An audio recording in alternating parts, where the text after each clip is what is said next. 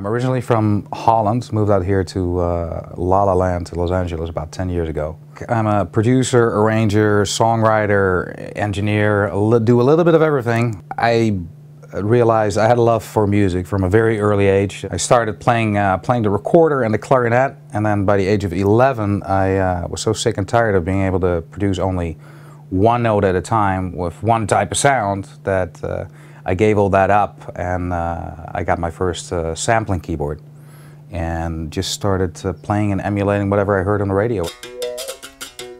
Too many people to name, uh, but people like Stevie Wonder, Marvin Gaye, Tom Waits, um, um, and, and, a large dose of uh, Western European classical music, which uh, was pounded in by my dad.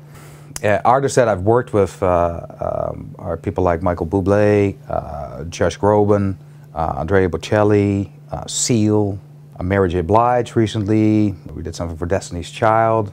You know, what basically got me here was arranging uh, combined with programming, so using synthesizers, samplers, uh, digital audio, any means of music technology to get the job done.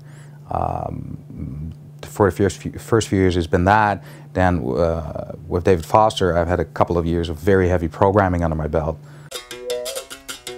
I guess the most uh, important key person in, in bringing me to the, the States is uh, the legendary guitar player uh, Lee Ritenour, who actually is also part of Music 180. Just for fun, uh, one day I, I, I, took the first song of Lee's first album, uh, just because it had this cool guitar lick on it, and uh, I sampled that and put vocals on top, put beats, beats, and just chopped the whole thing up. And, and then a few months later, Lee came to Amsterdam to do a concert.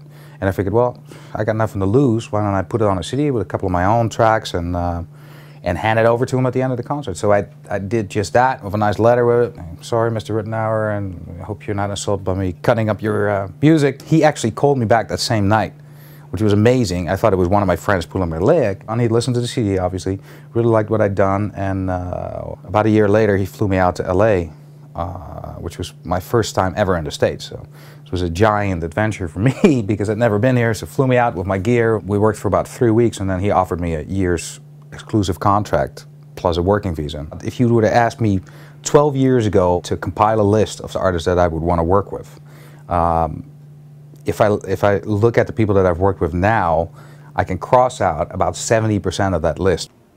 I got very lucky, but they say luck is where opportunity meets preparation. If you're prepared, then now Music 180 opens up that window of opportunity further. It creates a new platform for people in different facilities and different disciplines within the music industry. And I'm talking about record, record company people, aspiring artists, uh, producers, engineers, anybody that is very serious about their music now has a platform to communicate and to engage in collaborations. One of the great features, uh, just one of the many great features on the Music 180 site um, is the, the feature called the Vault, where you can load up your music and create a lockbox and then have select people listen to that music without them being able to download it. You know, there's 10 million bands and 10 million singers out there, and you know, how are they going to get heard? And how, uh, how are they going to get the right people to hear it? Um, that's the trick of it, and that's where Music 180 comes in.